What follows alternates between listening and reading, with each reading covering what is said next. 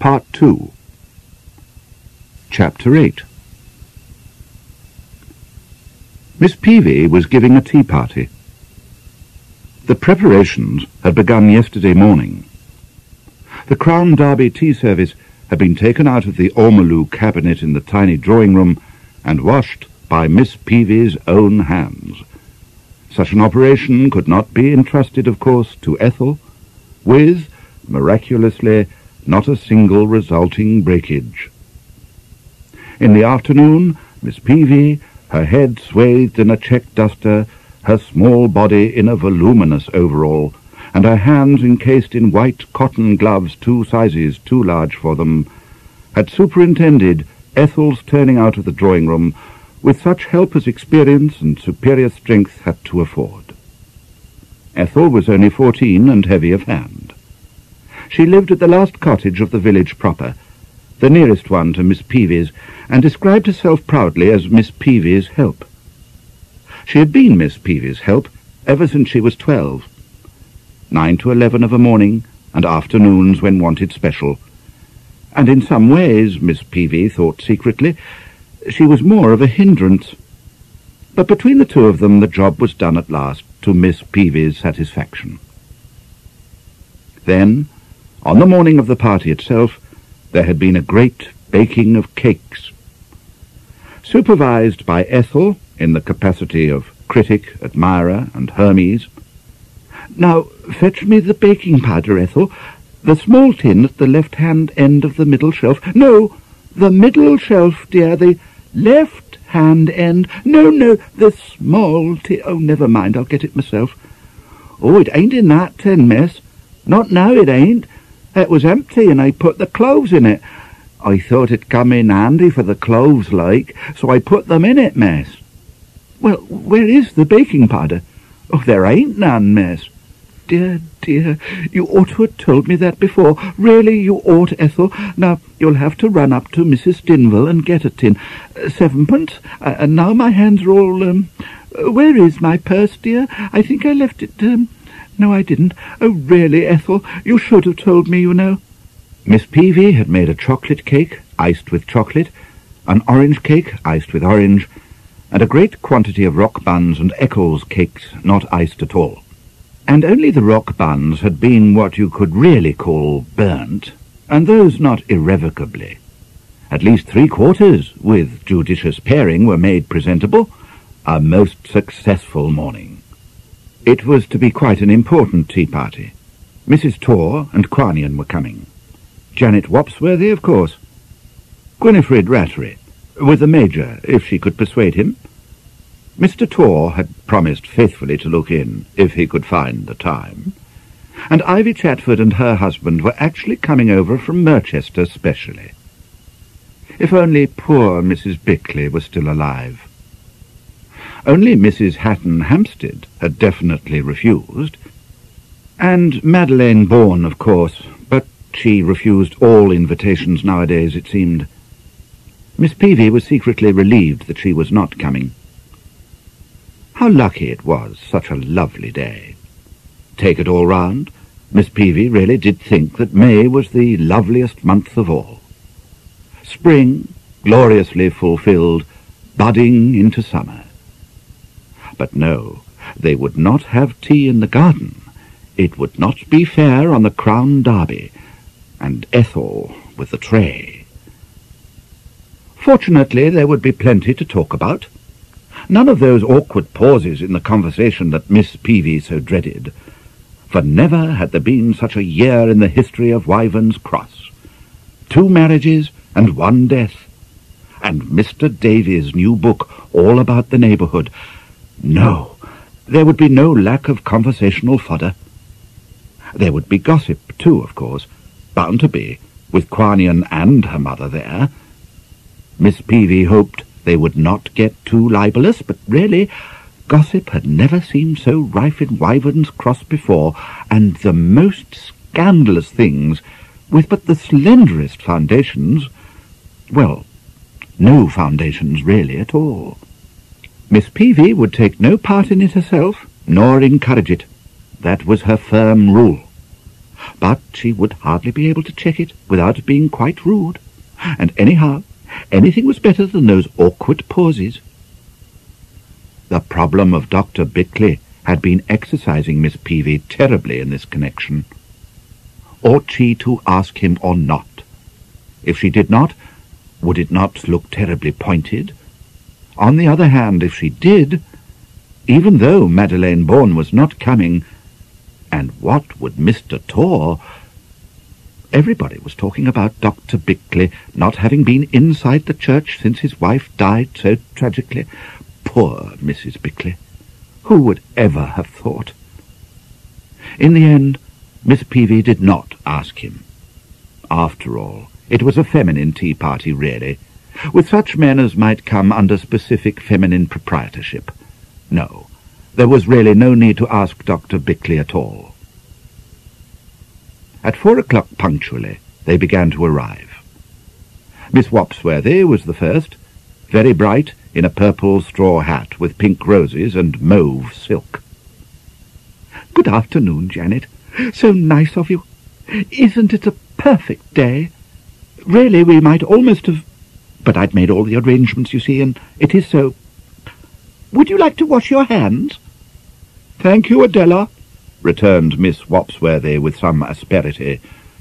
I washed them before I came out. There was more in this exchange than met the ignorant eye. Miss Peavy's cottage was half a mile outside the village, and stood at the foot of the steep slope which began where the hamlet ended. Miss Wopsworthy's cottage, at the other end of Wyvern's Cross, stood on flat land. Miss Peavy, therefore, had a gravitational water supply to her cottage from a spring halfway up the hill above her. In the village itself there was no pipe water, and Miss Wopsworthy's cottage shared this disability. Her water supply was a great comfort to Miss Peavy.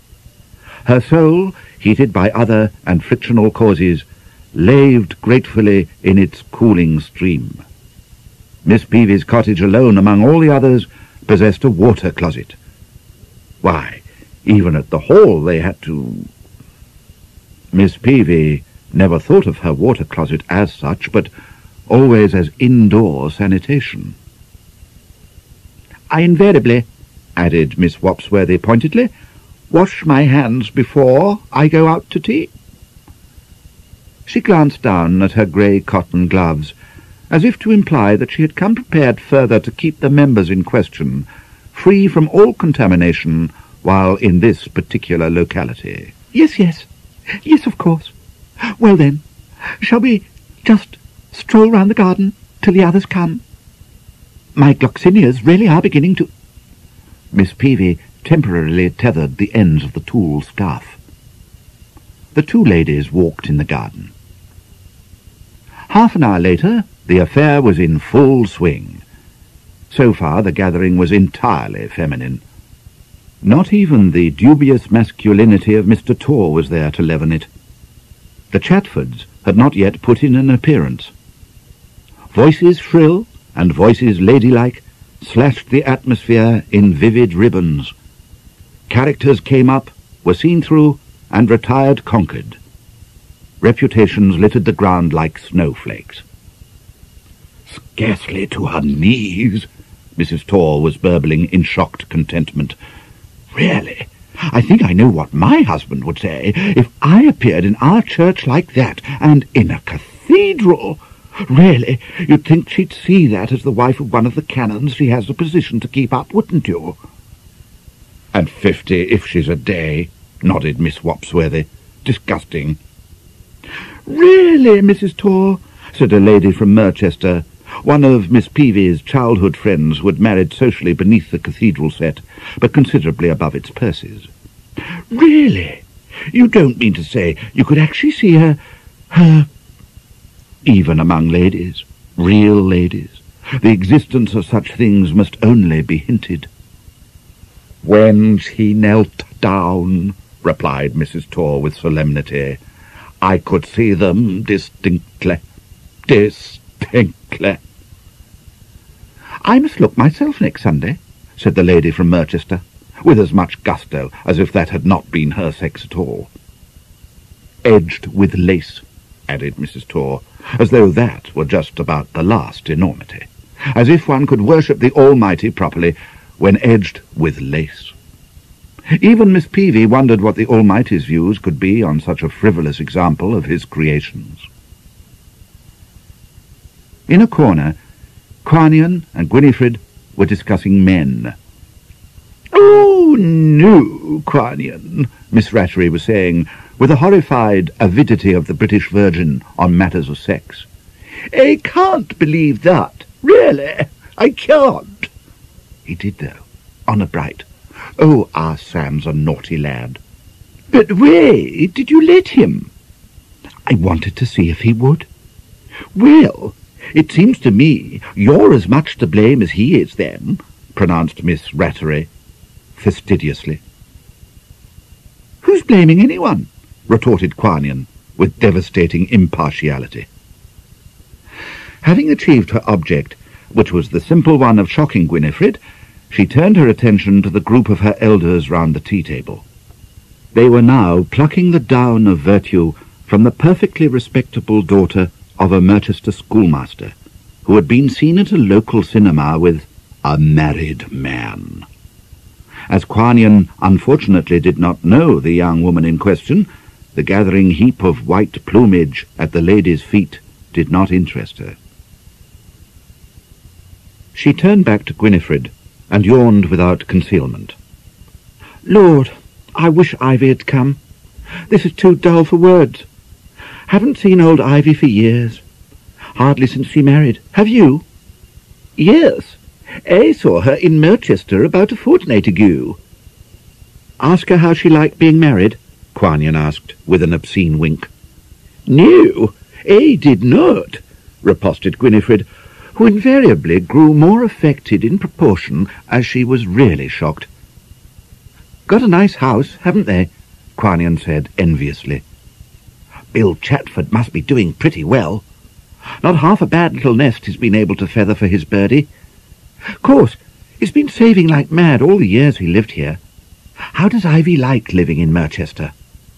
Oh, quite well, I think. Gwynifred drank a little tea. The forefinger of her right hand was tucked so far under the others that no one could possibly have accused it of being crooked.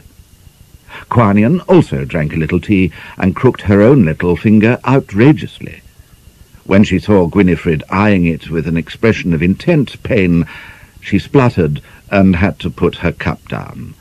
Quarnion had a simple sense of humour. Well, has Teddy proposed to you yet, Gwynifred? She asked next. Baiting Miss Rattery was one of the few amusements that Wyvern's Cross had to offer Miss Torr. And Gwynifred, being twenty-four, while Miss Torr herself was only nineteen, well, practically twenty now, and Gwynifred, moreover, intensely disapproving of her twenty-four dignity, being assailed by nineteen impudence, and yet quite unable effectively to fight back, all added a not unpleasant spice to the entertainment. Quarnion, you do say such things, lamented Miss Rattery now. But she was ingenuous enough to be thoroughly confused by the question. Quarnion observed her companion's blush with pleasure and set about deepening it. Well, has he kissed you again lately? What do you mean, again? Since he did when he took you away to give you those cuttings at their tennis party last summer. You remember? He didn't. My dear Gwynifred, don't try to put it on with me, begged Miss Torr, enjoying herself mightily. Gwynifred's blush was getting quite interesting now. Never seen anything quite so obvious in my life. He carefully takes you out of sight instead of bringing the things to you. You're away about an hour, and come back looking all worked up, both of you. And then you tell me... oh, Lord, Gwynifred, I may be younger than you, but I wasn't born yesterday. Of course he kissed you. That he did not. I never gave him the chance. Horrid little man. Oh, ho! So he tried, and you turned him down, cried Miss Torr in high delight. Poor Teddy! I only wish it had been me. I don't think he's a horrid little man at all. Well, he is, said Gwynifred, quite vindictively. Poor old Teddy, gloated Quarnion.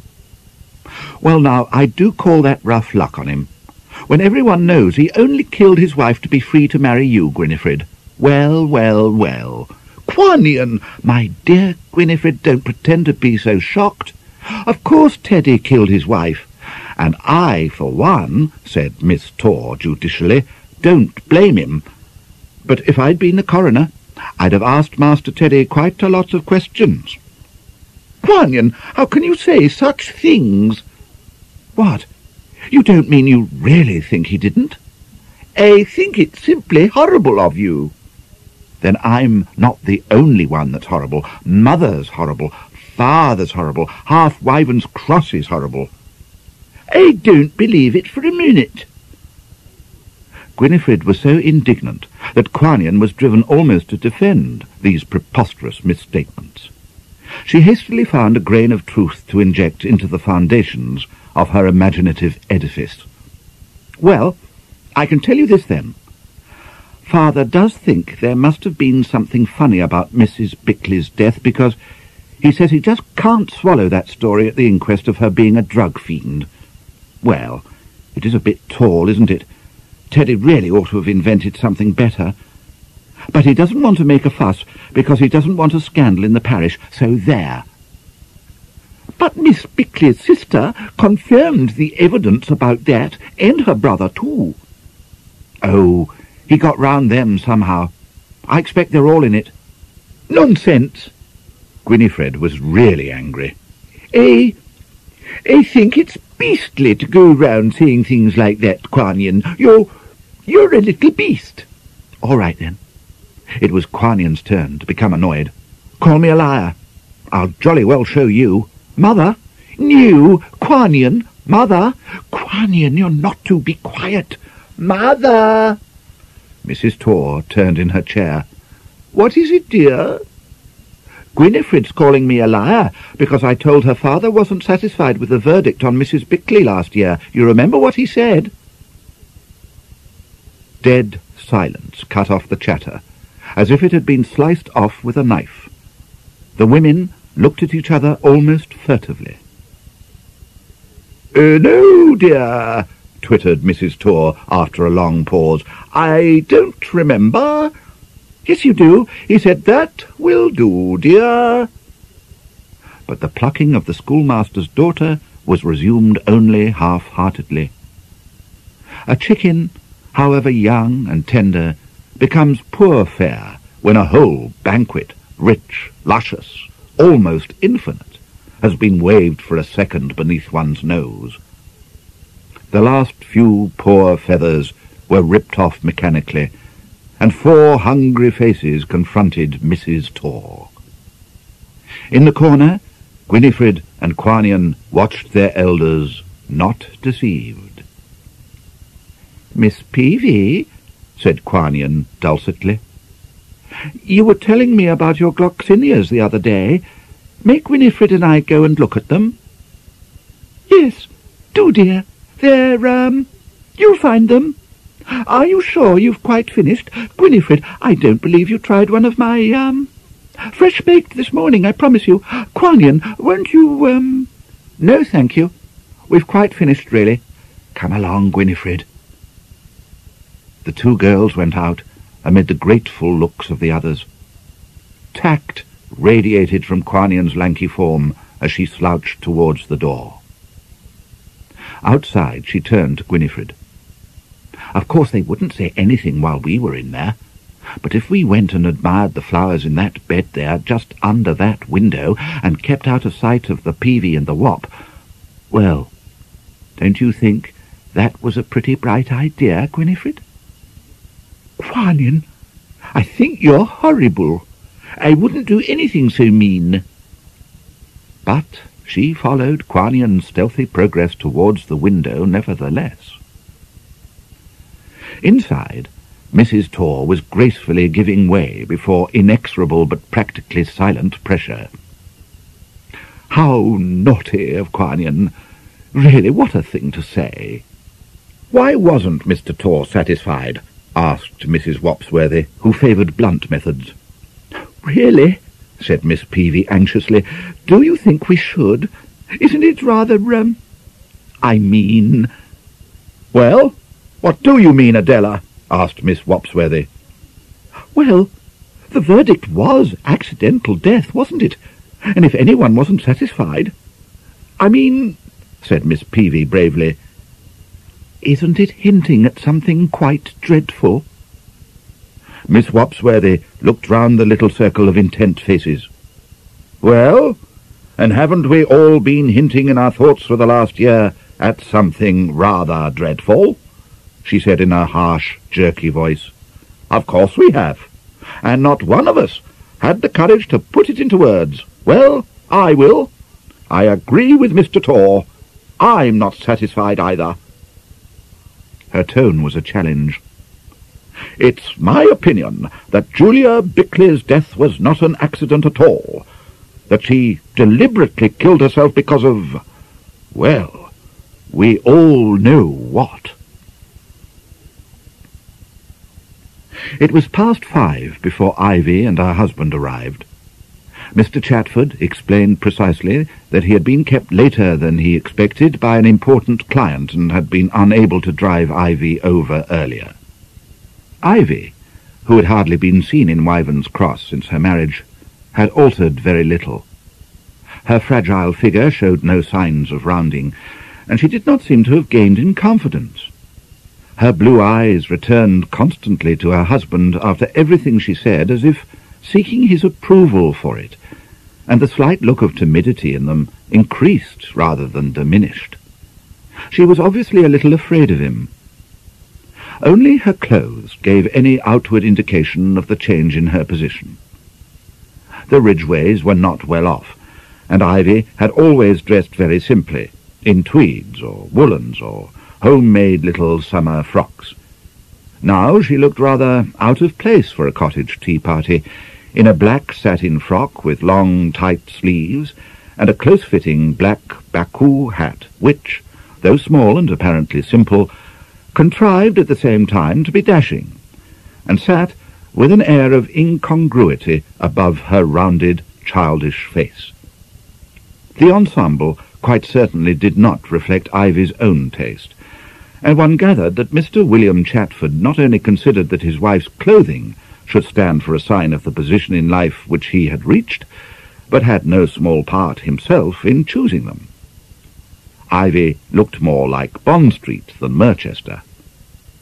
Miss Peavy, who had not seen her at all since the wedding, welcomed her warmly. Ivy had always been a favourite of hers, and kisses were exchanged.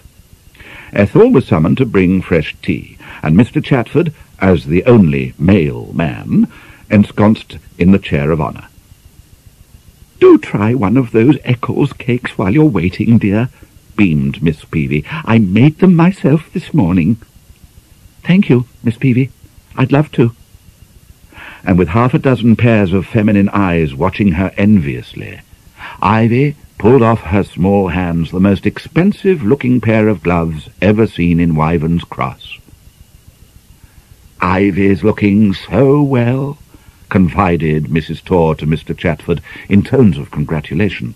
And so smart and pretty, really I hardly knew her. A mother of mother's bricks, confided Quarnion to Gwynifred. The two girls had returned to the house on the Chatfords' arrival. This hat, said Ivy, in answer to a question from the lady from Merchester. Oh, haven't you seen it before, Mrs. Dunsford? I got it in Paris on our honeymoon. William gave it to me. She glanced at her husband. A model, amplified Mr. Chatford with obvious satisfaction. The word came oddly in his precise enunciation. Charming, pronounced the company dutifully. There was a pause. Nobody spoke. The pause grew awkward. Miss Peavy looked to Mrs. Torr in appeal. Mrs. Torr did not see her.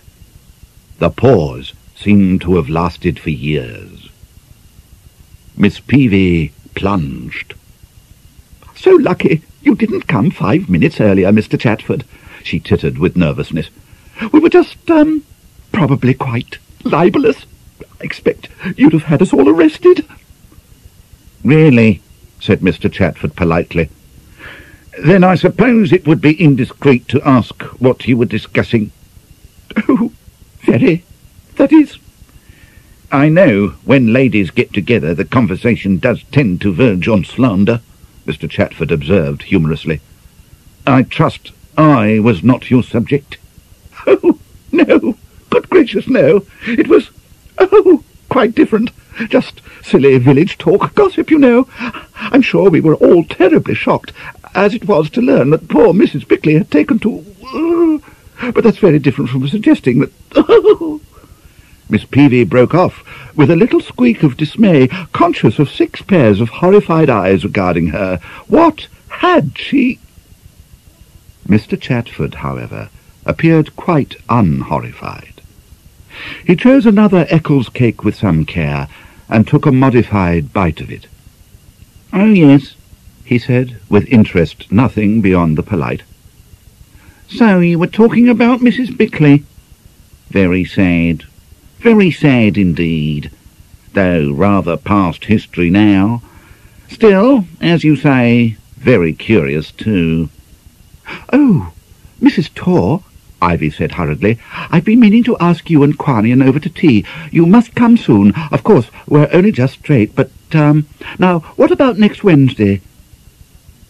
It was arranged that Quarnion and Mrs. Torr should go to tea with Ivy next Wednesday. The conversation skated imperceptibly farther from Mrs. Bickleigh. Soon afterwards, Gwynifred rose to go. She had promised her father to get back for their usual set of tennis before changing for dinner. Would Quarnion like to come too? Pick up Benjy at the vicarage on the way and make up a four? Quarnion would. The lady from Merchester went too to catch the bus. Five minutes later, Mr. Chatford gave, as it were, quite casual expression to the topic uppermost in the bosoms of those remaining. It was strange that you should have mentioned Mrs. Bickleigh just now, Miss Peavy, he remarked. I had rather meditated raising the subject myself, or rather the subject of Dr. Bickleigh. I agree, said Miss Wopsworthy with tight lips. It's high time it was raised. Yes? Mr. Chatford appeared faintly puzzled. I haven't seen him once since my marriage. I wanted to ask after him, Uh, no doubt you ladies will be able to tell me. How is he bearing the loss of his wife? Miss Peavy and Miss Wopsworthy both looked towards Mrs. Torr. Well, said that lady carefully, I think as well as one could have expected. Indeed, I'm glad. A very tragic affair. The coroner, I thought, handled it most tactfully. Very, almost snapped Miss Wopsworthy. I was particularly glad, pursued Mr. Chatford, with the air of one merely making conversation, that none of the, uh, shall we say, gossip, which I understand had been coupled with Dr. Bickleigh's name previously, came up in court. No doubt it had never reached the coroner's ears at all, but if it had, I thought it quite right of him to disregard it. Gossip? Queried Mrs. Torr with interest. Then? Hadn't there been a certain amount of talk about Dr. Bickleigh's perhaps rather indiscreet friendships in the neighbourhood? replied Mr. Chatford smoothly. Quite harmless friendships, no doubt, but for a man in his position, at least indiscreet. Oh, yes. Well, that is yes. I believe there had. Names, even, had been mentioned. Names have frequently been mentioned in connection with Dr. Bickleigh, remarked Miss Wopsworthy acidly. Yes, yes, so I feared. No doubt you ladies know whose. Mrs. Torr, who was not clever at hiding her feelings, looked uncomfortable. From her daughter she had at one time frequently heard Ivy's name mentioned in this connection, she glanced at Ivy, and was shocked to see how white the child's face had gone. So there had been something in it then. Something rather serious to account for such apprehension. What an unpleasant man Dr. Bickleigh did seem turning out to be, if only half the things people said about him were true, and she used to think him so nice. To save Ivy, she plunged for something definite. I... I've certainly heard Mrs. Denny Bourne, uh, Madeleine Cranmere, as she was, I've certainly heard her name coupled with Dr. Bickleigh's. Well, I mean, uh, Mrs. Torr tried to soften this slander. They were close friends about then, I believe, though, of course, she didn't see so much of him after she got engaged to Denny. Yes. Ah, yes. Wasn't the engagement announced on the very day of Mrs. Bickleigh's death? Yes. A most curious coincidence. Do have some of my orange cake, Mr. Chatford, implored Miss Peavy. I made it myself, so I can thank you. I will. And Ivy, you're eating nothing. I finished, thank you, Miss Peavy. Don't tell me you're going in for this fashionable dieting, too. I do think it's so very... And really, Ivy, there's no need for you to... Uh... Oh, no, I'm not. Ivy smiled wanly. Miss Peavy would have liked to keep the conversation on such an innocuous topic, but Mr. Chatford, it seemed, had not finished with the other. He brushed the thread dangled by Miss Peavy unobtrusively but firmly aside. Yes, I'd heard that too. Miss Cranmere, as she was. But I understand uh, that there was someone else previous to her. Perhaps you've heard that too. Ivy's eyes flickered in appeal over the three faces. It was not necessary. With a rigid sex loyalty of women, all three denied vigorously having heard of a friend of Dr. Bickleigh's previous to Miss Cranmere, though all three knew perfectly well who that friend was reputed to have been. Even Miss Peavy, who never listened to gossip if she could help it, knew that. One does not have to listen to gossip in a place like Wyvern's Cross. It inserts itself into the consciousness somehow, quite irrespective of the ears. No, said Miss Wopsworthy, frowning in an effort of memory. No, I never heard of anyone else. Who was it, Mr. Chatford? Oh, I don't know her name, said Mr. Chatford smoothly, and if he realized that three female breaths were being drawn the more easily, he did not show it. Possibly she never existed. I just heard that there had been another woman. But you know what the gossip is in these small places. All three ladies did know it, and looked accordingly deprecatory. Curious, said Mr. Chatford. Miss Peavy caught the look in Ivy's blue eyes, and like Mrs. Torr a moment ago plunged for something definite. Oh, I know it was Miss Cranmere. Why, I, I remember one day... Uh, really, it was most extraordinary. I, I've never been so insulted in my life. Without quite knowing how it had happened, Miss Peavy found herself embarked on the story of Dr. Bickleigh's visit to her the previous spring. She had never quite forgiven his conduct then, though she had overlooked it on their subsequent meetings, but she had never told a single person about it. Now, as soon as she had got well started, she wished she had done nothing of the sort. But it was too late to recant. Well, I never, said Mrs. Torr, suitably impressed. Dear me, said Mr. Chatford, most injudicious. And you never said a word about it to me, accused Miss Wopsworthy, and Miss Peavy looked her guilt. Ivy said nothing, but went on playing aimlessly with one of her expensive gloves, pulling it again and again through a loosely clenched fist. Mrs. Torr, in an overflow of maternal feeling, thought she looked just like a child dressed up. It was ridiculous to think of her as the wife of that dry stick Mr. Chatford. Why, there must be over twenty years between them. Did she really love him? Well, there's no need to wonder who the married man was, Adela, observed Miss Wopsworthy. You know perfectly well it was the scandal of the place last summer. Mrs. Torr shook her head. I'm afraid it was. I confess, mused Mr. Chatford, that I had not realized how close the uh, friendship must have been. The slightest stress on the word in question enclosed it in inverted commas. There was a moment's silence while great issues hung in the balance. Close enough, said Miss Wopsworthy, slowly and deliberately, to turn Julia Bickleigh into a drug fiend. Mr. Chatford looked at her searchingly. I don't quite follow. Oh, it's nothing, Mr. Chatford, said Miss Peavy, much distressed. Just a silly idea of Janet. Really, Janet. I mean, that sort of thing. Well, it isn't very nice, is it? Saying that sort of thing. We're not considering a nice sort of thing, Miss Wopsworthy returned grimly. I'll put it another way then, Mr. Chatford. I'd known Julia Bickleigh for nearly ten years, and I'd be prepared to say with my dying breath that she was the last person in the whole world to give way to any weakness of that sort. There.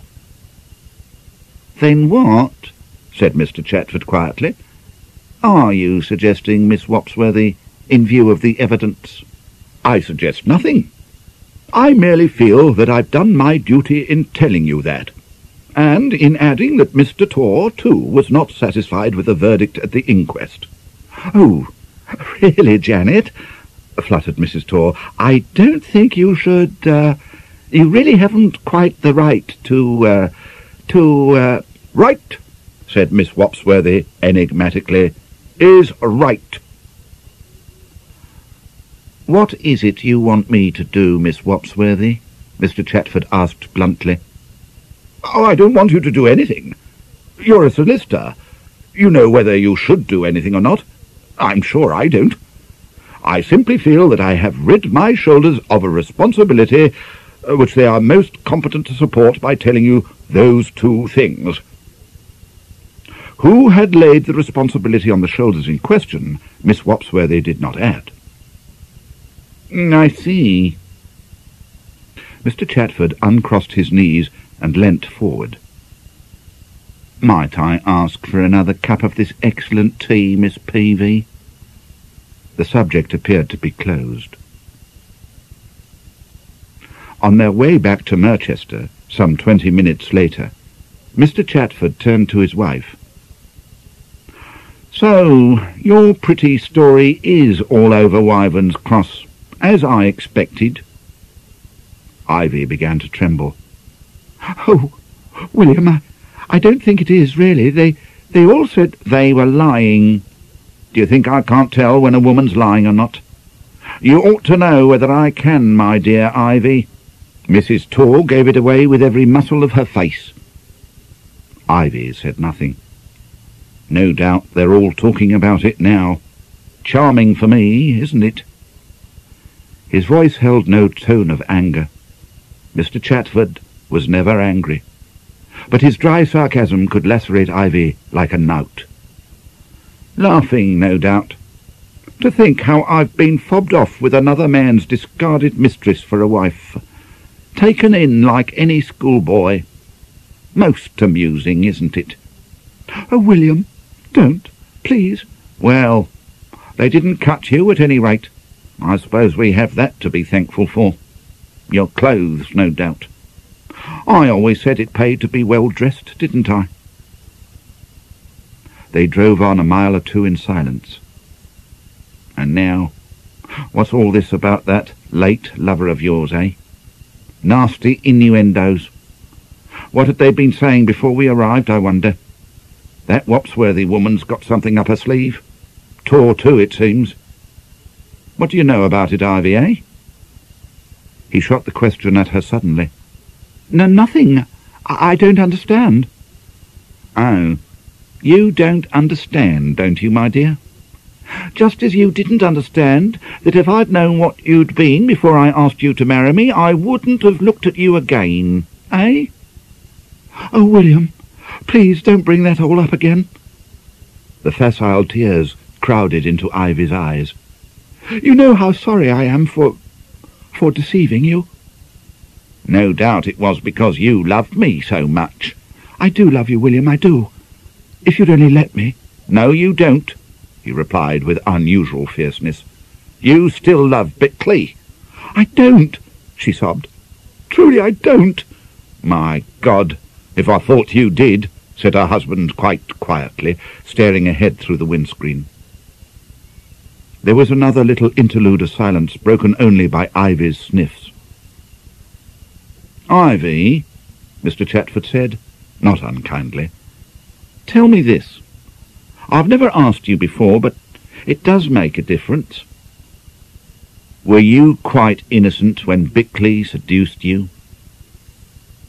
Ivy caught desperately at the tone. Yes, quite. I swear. Ignorant? Yes. Yes. Mr. Chatford stared ahead. William, that does make a difference, doesn't it? Her husband patted her knees. His dry skin scraped on the silk. It may make all the difference to Dr. Bickleigh, he said, without apparent emotion. Ivy turned terrified eyes on him, opened her mouth, and then hastily turned her head away. Chapter 9 Dr. Bickleigh helped himself to another glass of port. Since Julia died, he had been able to afford these little luxuries. He was thinking of his roses. The two Marcia Stanhopes had flowered unexpectedly freely last year. He wished he had ordered a couple more last autumn. Still, the white ensigns he had put in instead would be more reliable. The rose garden would be better than ever this year. It was quite a pity Julia would not be there to see it. The rose garden was one of the few points of contact they had possessed. Poor Julia. Really, thought Dr. Bickleigh for the thousandth time, it had been a merciful release. Her life had never been happy. She was probably most grateful to him by now, wherever she was. He lit another cigarette and lounged more comfortably in his chair. The open book on his knee slipped aside. Nine o'clock, work finished, and a pleasant, long evening by the fire, all alone. That was the best of early June. One could still enjoy a fire in the evening. He was not in the least lonely. He never did feel so. Dr. Bickleigh was not one of those who rely entirely upon human companionship for their enjoyment. Nearly thirteen months now. Of late, he noticed with interest, the thought of Julia had been less and less present in his mind. Imperceptibly, he was slipping back to the state of things before he met her. Julia, instead of being his life, was taking on the aspect of an interlude, an interlude, too, firmly and courageously terminated when it became impossible. That Dr. Bickleigh had been a different man since Julia's death, he himself had been the first to recognize. It was extraordinary how that one action had altered his idea of himself. Somehow he could not help feeling that he had vindicated his existence, proved once and for all that he was as capable as anyone else of taking his own line and sticking to it grimly, more capable. What was the phrase? Something, something, something, and captain of his soul? That was it, exactly captain of his soul. Poor Julia! How she would have hated being thought of as a mere interlude. But the interlude had held vital lessons for him. No more marriage, and no more women. One captain of his soul was enough, and that not a female one. Women. Good Lord! What an escape he had had with Madeleine.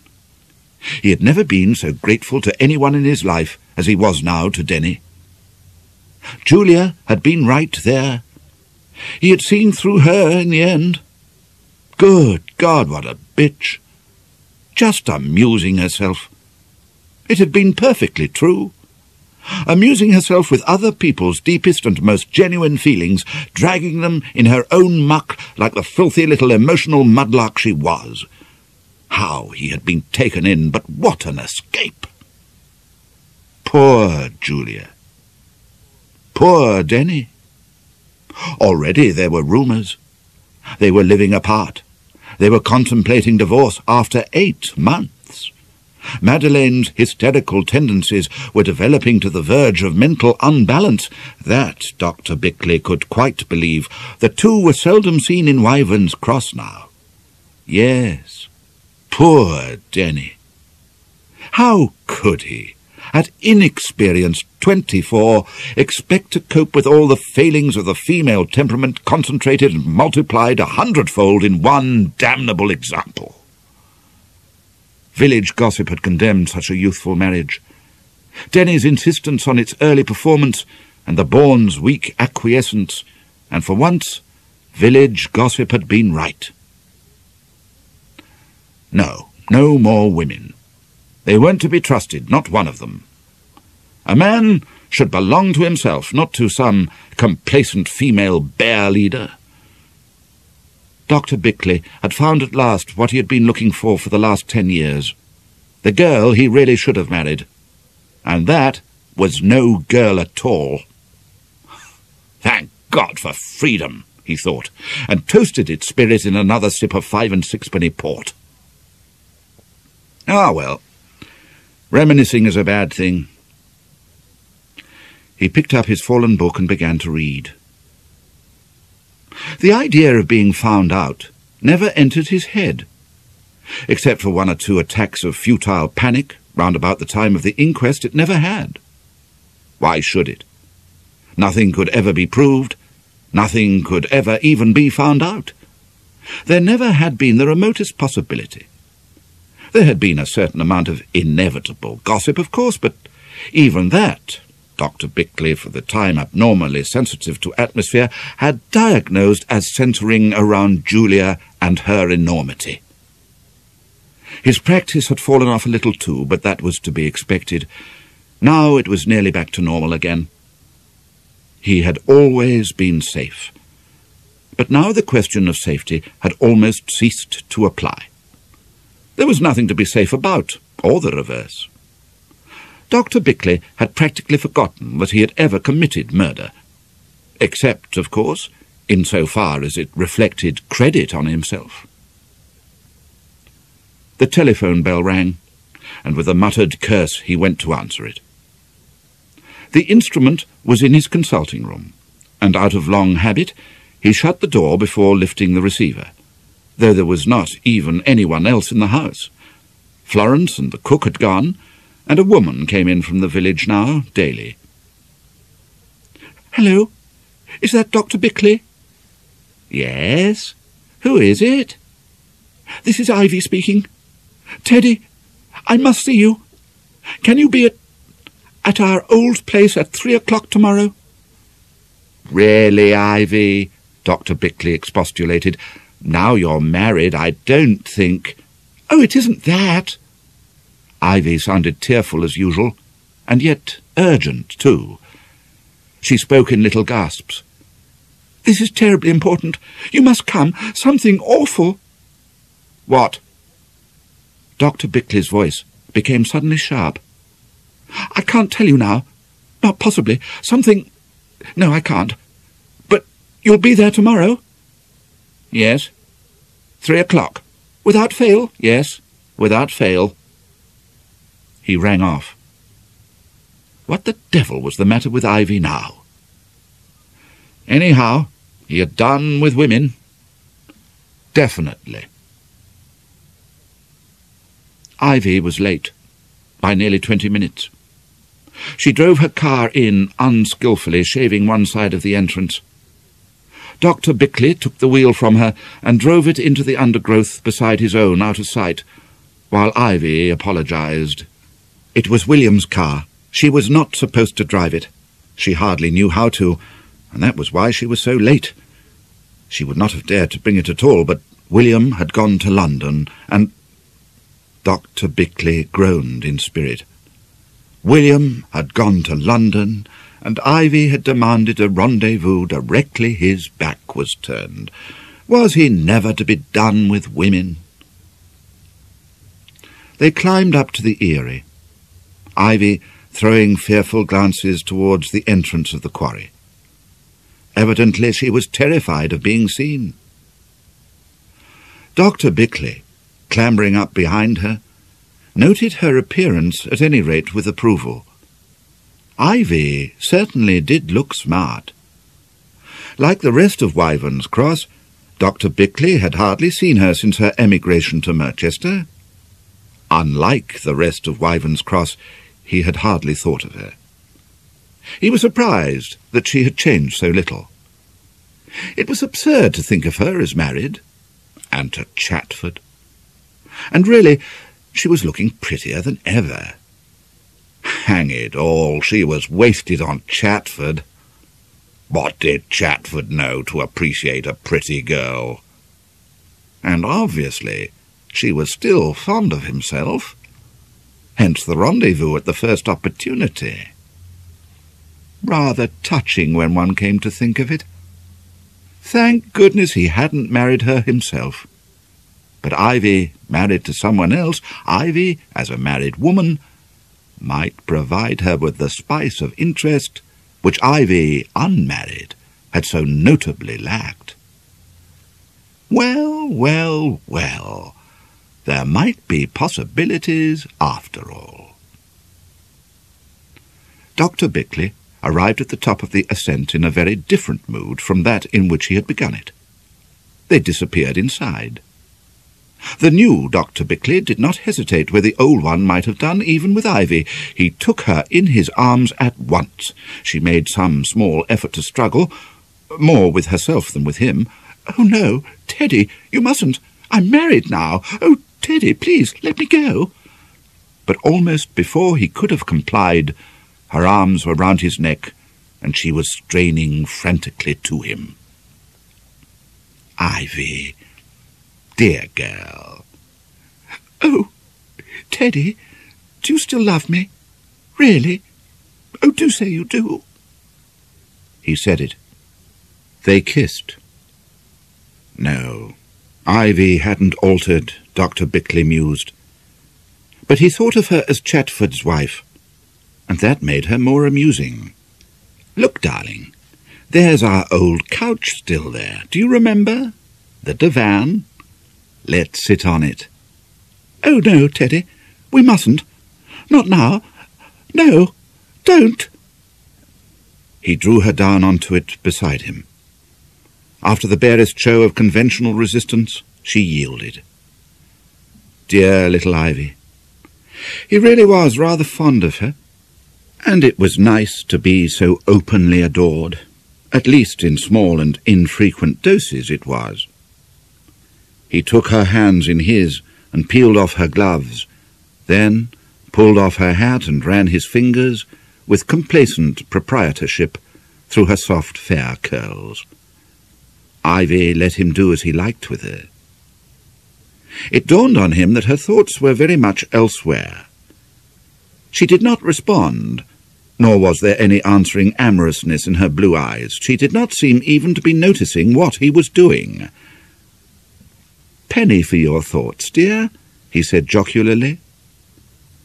The look she turned on him was so unexpected that he stiffened in his attitude of the moment.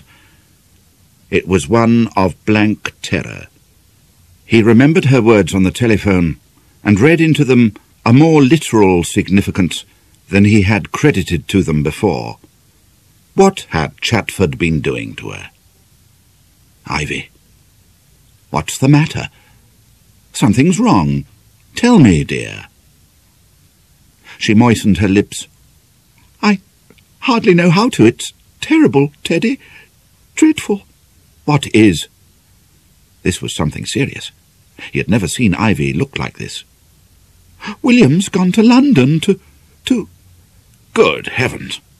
Not run away from you, has he? Left you? No, no. It's about you, Teddy. She began to shiver violently. Me? he said in astonishment.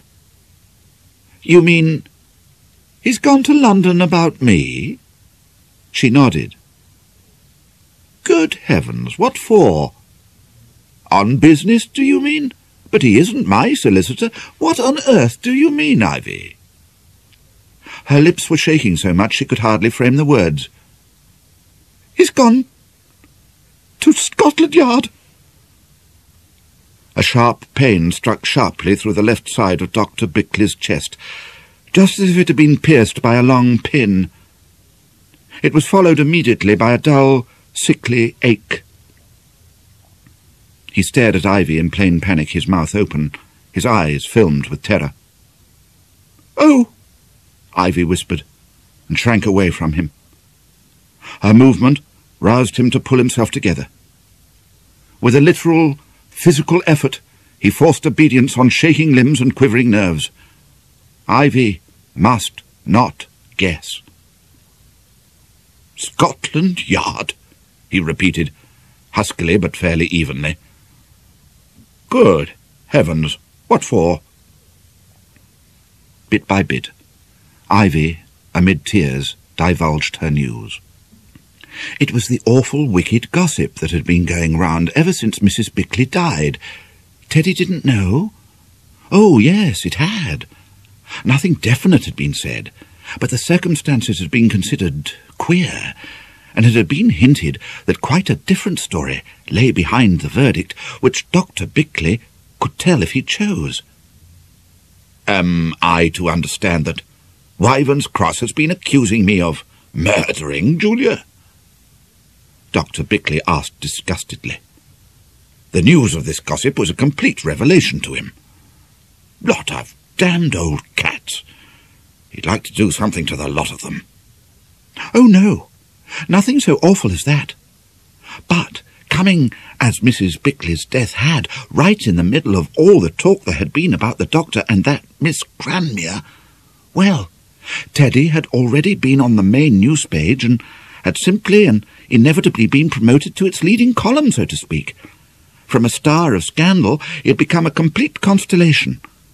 But only the vaguest hints had been dropped as to cause and effect. Then, apparently, the whole simmering pot had boiled up at a tea party at Miss Peavy's about a fortnight ago into something very like plain speech. Miss Wopsworthy had been the leading spirit, seconded ably by Mrs. Torr, in the ordinary course, it would just have been the usual letting off of feminine steam. But by a misfortune of misfortunes, William had been there too and heard it all. And what is delightful gossip to a village worthy, implied Ivy, is a deadly piece of seriousness to a solicitor.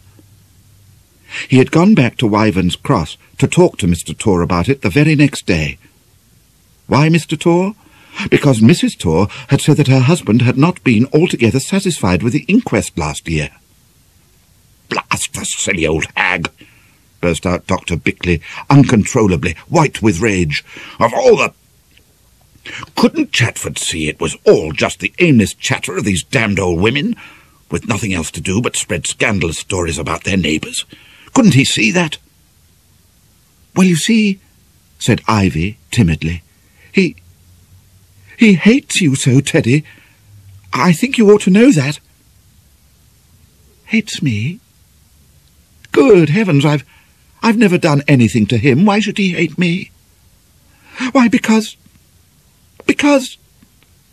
My God, Ivy, you didn't tell him about us. You did, you damned little fool. Ivy's tears fell thicker and faster. I knew you'd be angry but I couldn't help it. He got it out of me. You don't know what he's like. He...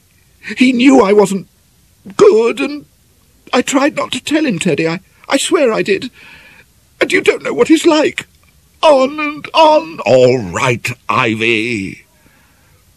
There was no good in losing his temper with the little fool. He must keep calm. Calm. As long as he didn't frighten or antagonize her, Ivy was an invaluable ally, a spy in Chatford's dirty underhand camp. As long as she thought he loved her, she would... All right, dear. He forced himself to smile, instead of hitting her in the face again as he longed to do, and this time go on hitting her. Don't cry. I quite see how it happened. And anyhow it's done now. No wonder he hates me. And so he's going out of his way to stir up this silly mare's nest, eh? Well, that's all right. Scotland Yard wouldn't listen to him for a minute, of course, even if he goes there at all. Probably he only said that to frighten you. He can't be such a fool. And even if they did, two minutes' conversation would clear the whole thing up.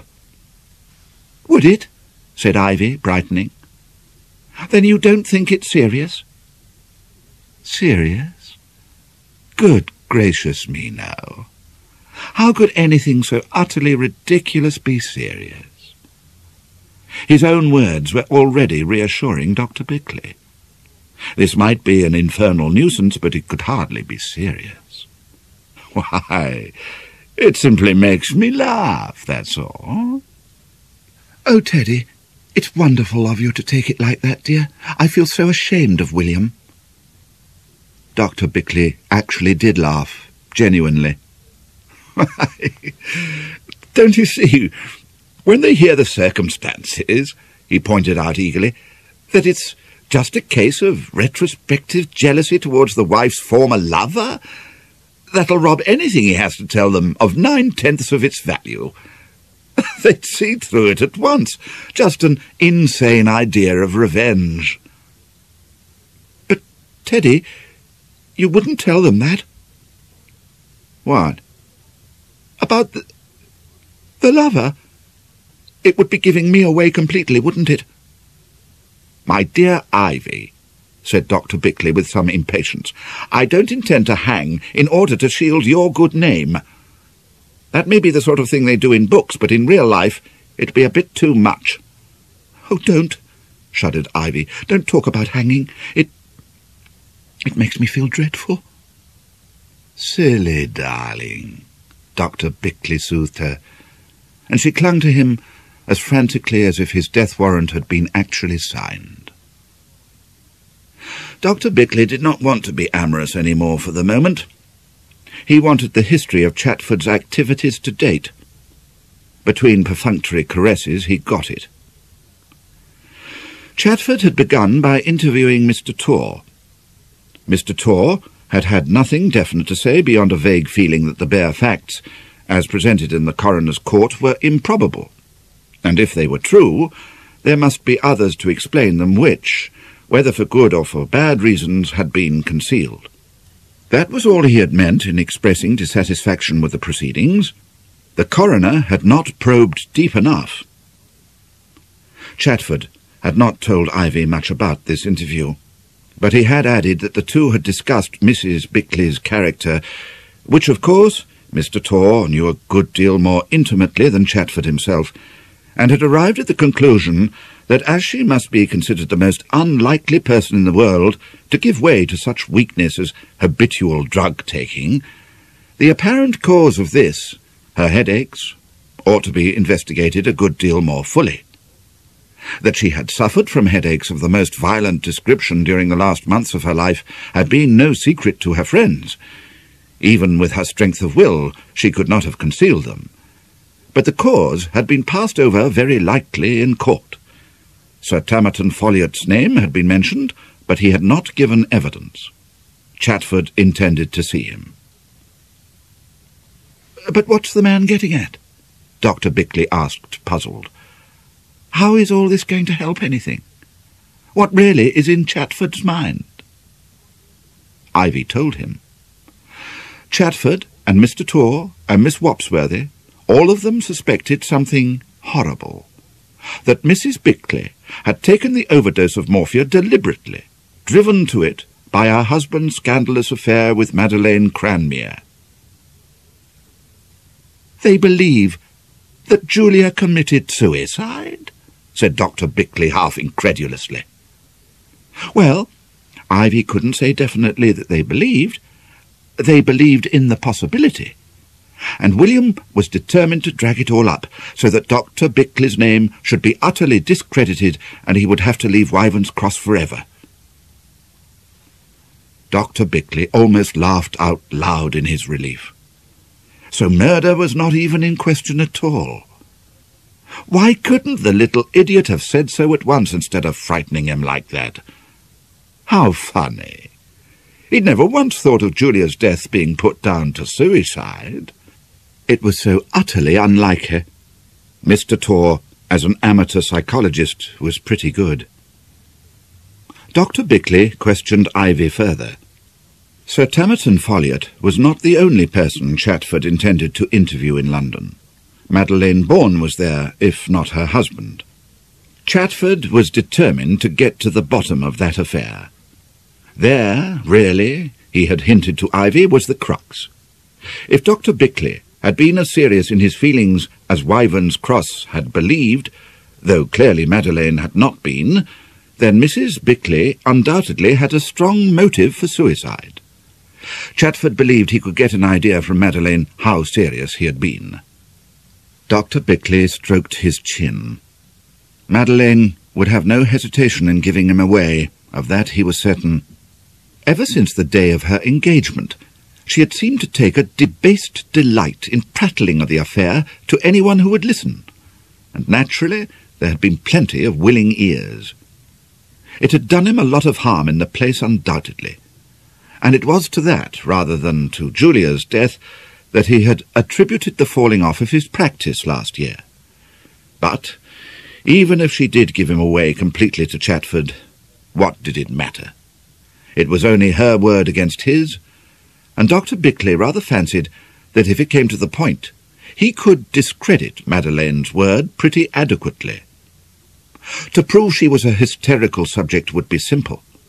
From that to delusions with the merest of steps and it would be rather delightful to show up Madeleine for the unpleasant thing she really was. Poor Denny. But, but what about Scotland Yard? I thought you said he was going there. Where does that come in? Yes, he was. If these interviews, combined with the information from Wyvern's Cross, did show there was a case for investigation, he was going to Scotland Yard to lay it before the police. They'll laugh at him, pronounced Dr. Bickleigh with conviction. What does it matter to anyone now whether poor Julia died by accident or killed herself? It may matter to Chatford, of course, if he could get me drummed out of the place, but it certainly won't matter to the police. Dirty hound, to try and get his revenge through blackening a dead woman's name. But, Teddy, aren't you worried? My dear girl, there's nothing to worry about. Of course Julia never committed suicide. That idea's absurd. But of course, too, the authorities won't let your precious husband stir up all this mud over nothing. Naturally I'm not worried. I know I should be. Well, I'm not. Besides, this is no time for worry, darling, with you here again. Quite like old times, isn't it? Glad to be back. Oh, Teddy, you know I am. Are you? Really, really? You bet I am. You're prettier than ever, Ivy. And aren't you smart too nowadays? I like your hat. And real silk stockings. Real silk all through, I expect, Mrs. Chetford, eh? Oh, no, Teddy, you mustn't. No, not now I'm married. It isn't fair. Really, Dr. Bickleigh, I'm surprised at you. Oh, Teddy. An hour later, they parted. Dr. Bickleigh smiled to himself as he drove home. Chatford's activities could really not be taken seriously, and it amused him to have had his revenge on them so promptly. Ivy became invaluable. She kept Dr. Bickleigh informed of everything she knew and questioned her husband closely on his behalf. As it was impossible for her to use the car after Chatford's return from London, they arranged a rendezvous in Merchester itself, where they met in secrecy and safety regularly twice a week. On Dr. Bickleigh's instructions, Ivy adopted a subtle line. She pretended to Chatford that she hated Dr. Bickleigh now, and was as anxious as himself to see him driven out of Wyvern's Cross. In this way, she got him to part with a good deal more information than he would have divulged to an unsympathetic inquirer. Dr. Bickleigh thus learnt that Chatford, while getting very little change out of Sir Tamerton Folliot, had got a great deal out of Madeleine Bourne, though mostly small. Enough, at any rate, to justify in his opinion the visit to Scotland Yard. Dr. Bickleigh was most interested in this visit and questioned Ivy thoroughly about it, giving her further questions to put to Chatford later. However, it all amounted to very little more than that Chatford had been received without any great enthusiasm, had seen a chief inspector, to whom he had told his story, and had been advised, not without severity, that Scotland Yard could not move in the matter, as he should have known, it being outside their province, and, if he was really of the opinion that anything was to be gained by investigation, he had better lay his facts before the proper authorities, who were the Devonshire County Police. Altogether, chuckled Dr. Bickleigh with malicious glee, not a very successful interview. Chatford laid his information before the county authorities. He was more reticent with Ivy as to the result of that interview. But Dr. Bickleigh was not perturbed. It was all too ridiculous. Except for a growing anger with Chatford and his presumption, and annoyance over the bother that might be caused him, his emotions were not affected. That it would ever come to an inquiry was impossible to believe. And even if it did, nothing more serious could happen than that he might be censured for negligence in allowing Julia to have access to the morphia after he had discovered her propensities. But it was a nuisance, and Chatford was getting intolerable. Dr. Bickleigh took pleasure in gratifying his hatred by reinstating a none too unwilling Ivy as his regular mistress. Chatford should pay that price for his damned interference. Not long afterwards, a strange man from Exeter was to be seen pottering about in Wyvern's Cross and chatting casually with the inhabitants. Dr. Bickleigh observed his activities with nothing but amusement, mixed with contempt. A lot of good he could do collecting village gossip. And, besides, the villagers all liked him, and they had not liked Julia. Dr. Bickleigh thought humorously of writing to Exeter to protest as a ratepayer against this waste of time and expense. The strange man disappeared, and that, it seemed, was the end of that. It was now getting well on in July, and Dr. Bickleigh looked forward to a peaceful remainder of the summer. But there is never any harm in adding the final touch or two that makes a masterpiece, and one incident particularly pleased him. Teddy, Ivy said artlessly one day. You never told me you once actually asked Madeleine to marry you. The Madeleine theme was a favourite one with Ivy. She loved to question and cross-question him on it, demanding every detail of their intercourse, taking delight in reviving the anguish she had suffered over it, and, unknowingly, his too. Dr. Bickleigh wished she wouldn't. He did not want to discuss it at all. Didn't I? he said gruffly, shying, as always, at the mention of this unwelcome name. But you did ask her. So she's blabbed that too, has she? Yes. She told William and he told me. Do tell me about it, Teddy. You must have had a hectic scene from what she says. And fancy, only an hour or so after I saw you that day in the road, do you remember? Oh, Teddy, I do think you might have told me. What did she say, really? And all the time... Teddy, you're not listening. Dr. Bickleigh turned from the window. Her words had reminded him of something he had been intending to put to her. Ivy, he said, very distinctly, as to a small child. You know, when you did meet me that afternoon, I asked you the time? Yes. You told me it was twenty to three, didn't you? Did I?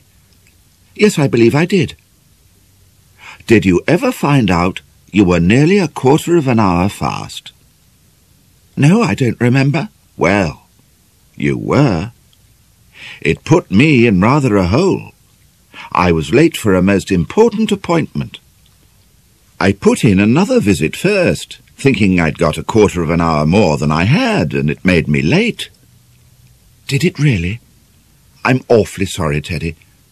Fancy remembering that. Yes, said Dr. Bickleigh still more distinctly. When you saw me that afternoon, the time was really twenty-five past two. He had always remembered that just after twenty past two he had passed two of the villagers as he turned into the very road where he had left the car. You'd better remember that. Yes, I will, darling. But it doesn't really matter, does it? Oh, no. It doesn't matter. But, well, I suppose you told Chatford about meeting me that afternoon? No, I don't think I have. I'm sure I haven't. He never asked me. Well, he didn't know, so he couldn't, could he? But I'd nearly forgotten all about it myself, as a matter of fact. Yes, so had I. It just occurred to me. Well, if by any chance it ever is mentioned, remember that it was twenty-five past two, not twenty to three.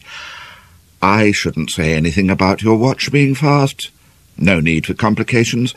Just say that when I asked you for the time, you looked at your watch and told me it was twenty-five past two. All right, Teddy. I'll remember. Dr. Bickleigh smiled on her. How fortunate that Ivy was Ivy. Has Chatford told you anything lately, by the way? No, not for a long time now, Teddy. Dr. Bickleigh kissed her affectionately.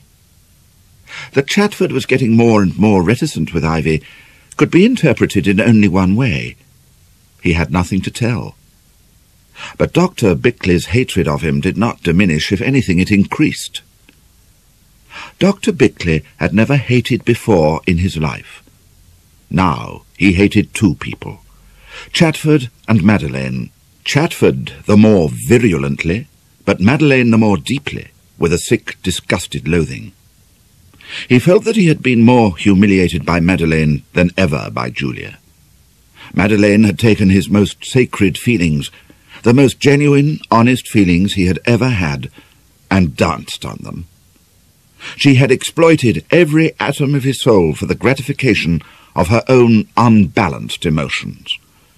And, not content with that, she had, in her astonishing unreticence, taken a perverted delight in slandering him. Dr. Bickleigh knew very well the story that she had been so assiduously putting about, without the slightest provocation, whitewashing her own mean little soul by blackening his. That she, the white flower of trusting innocence, had had her heart besieged by a professional seducer, who, by his appalling lies and unscrupulous skill, had succeeded in gaining temporary possession of that organ. But Madeleine, coming to her senses just in time, the scales were ripped from her eyes as if by the direct hand of Providence, and the desperate fellow was sent promptly to the right about. Some version of this story Madeleine had busily poured into all the important ears of the neighbourhood. The Bournes, the Torrs, Mrs. Hatton Hampsteads, any she could find. And though, of course, she nobly refrained from mentioning a name in connection with it, Dr. Bickleigh had found himself for a time, eyed very coldly indeed. He could still not think of Madeleine without trembling with rage. Denny he no longer honoured by hating. He merely despised that poor creature now. Denny, with his prospective title and eight thousand a year, of course deserved the love of any pure woman. Ivy was the only one to benefit directly by her lover's present detestation of her late rival. Returning to her after the other, with a celibate pause between, to allow things to fall a little into perspective, Dr. Bickleigh inevitably compared the two. And his revulsion of feeling from the latter was enabling him now to appreciate Ivy at a true worth she had not got.